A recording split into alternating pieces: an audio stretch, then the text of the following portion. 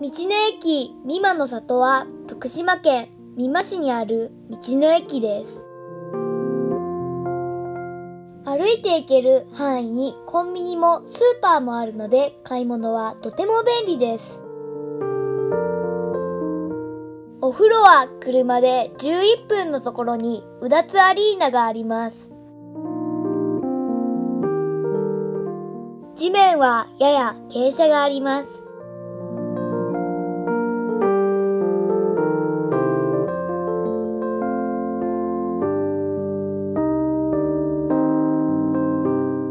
屋根のあるベンチがあるので野宿も OK です。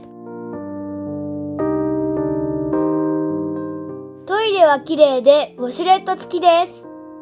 芝生の広場があります